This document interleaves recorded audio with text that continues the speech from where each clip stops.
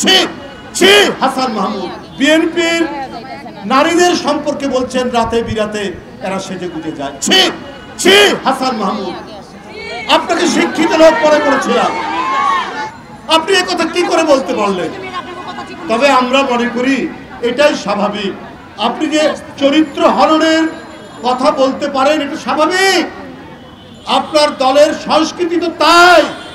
এই হাসান মাহমুদ সাহেব আপনার এই ধরনের কাণ্ড জ্ঞানহীন কথা বলা, এই কাণ্ড জ্ঞানহীন কথা বলার জন্য আমরা এতদিন আপনাকে আমাদের নেত্রীরা বলছেন, কঠোর সমালোচনা করছেন, কিন্তু বাজে কথা কেউ বলেননি। কেউ বাজে কথা বলেননি।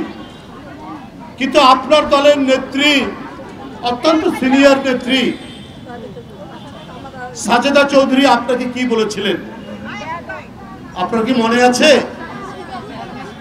সাজেদা চৌধুরী, আপনাকে কি বলেছিলেন? আপনার মনে থাকা উচিত। বিয়াদব শব্দটা উচ্চারণ করেছিলেন তিনি। কাকে উদ্দেশ্য করে বলেছিলেন? এটা নিশ্চয়ই মন্ত্রী আপনার জানা আছে।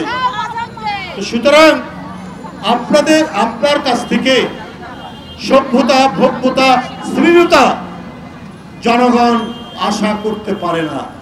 জনগণ আশা করে না। আওয়ামী লীগের কাছ থেকে জনগণ কখনোই আশা করে না। আমি অনেক আওয়ামী লীগের মঞ্চে থেকে বিএনপির নেতা নেত্রী সম্পর্কে এ ধরনের কথা অনেক শুনেছি। ওনারা মনে করছেন কি আমাদের কাছে সব কিছু আমাদের রাষ্ট্র ক্ষমতা আমাদের হাতে। আইন শৃঙ্খলা আমাদের হাতে। অতএব যা বলব যা করব এইটাই মানুষ হয়তো বিশ্বাস করে যাবে। অথবা বিশ্বাস না করলেও কি আছে? আমরা বেপরোয়া, আমরা কাউকে মানি না। কিসের বিরোধী দল? কিসের বিএনপি? কিসের মহিলা দল? কিসের মহিলা নেত্রী? আমরা যা ইচ্ছা তাই বলব। এই ধরনের একটি অহংকার আপনাদের পেয়ে বসছে। সুতরাং যাদের অহংকার হয়, তাদের পতন কিন্তু অত্যন্ত তাড়াতাড়ি হয়। যে কোনো মুহূর্তে আপনাদের পতনের আমরা আওয়াজ শুনব পদ্মা, মেঘলা, যমুনা ধলস্বরী থেকে ইতিমধ্যেই আওয়াজ উঠতে শুরু করেছে আপনাদের পতনে। আপনাদের পতনের আওয়াজ উঠতে শুরু করেছে। উপস্থিত বন্ধুরা, আমি আর কি বলব? আমার ভাষা হারিয়ে গেছে। যে কথাটি ভাবি বলেছেন, কুকুর কামড়ালে কুকুরকে কুকুরকে তো মানুষের কামড়ানো মানে এটা শোভা পায় না। আমরা ওটি বলতে পারি না। কিন্তু আপনি যে অশালীন কুরুচিপূর্ণ অসভ্য এবং একেবারেই নিকৃষ্ট যে বক্তব্য রেখেছেন বিএনপির নারী নেত্রীদের সম্পর্কে। এটা চরম ধৃষ্টতাপূর্ণ। এখানে আমাদের অনেক নারী নেত্রী বলেছেন তার পদত্যাগ।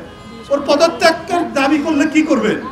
এই যে বলেছে এই যে কুরুচিপূর্ণ কথা বলেছে দেখবেন হয়তো কালকে তার কালকে তার প্রমোশন হবে। শেখ হাসিনার কাছে আওয়ামী লীগের যে নেতারা বিএনপিকে অত্যন্ত নোংরা ভাষায় সমালোচনা করে, তাদের প্রমোশন হয়। এইটাই আওয়ামী লীগের কালচার এইটাই আমাদের আওয়ামী লীগের ইতিহাস, এইটাই আওয়ামী লীগের ঐতিহ্য বন্ধুরা আমার। আজকে বলতে চাই, মহানগর গোয়েন্দা পুলিশ হঠাৎ আমরা জানি কোনো অভিযোগ নিলে এটা ওসি সাহেবের কাছে থানায় দিতে হয়। অথবা ওসি সাহেব না নিলে কোর্টে যায়। প্রথম দেখলাম গাড়ির বহরে করে অভিযোগ দিতে গেল গোয়েন্দা পুলিশের কাছে। গোয়েন্দা কর্মকর্তারা বললেন, এটা দিতেই পারে আমাদের কাছে। তারপরে দেখলাম মানহানির মামলা। এখন আমি মহানগর গোয়েন্দা পুলিশকে বলতে চাই, এত বড় যে একটা বাজে মানহানিকর চরিত্র হরণ করে বক্তব্য হাসান মাহমুদের। এইবার দেখি আপনি আমন্ত্রণ করে আসেন, আপনাদেরকে আপনারা মানহানির মামলা করবেন। দেখি মহানগর পুলিশ এটা করে কিনা এইটা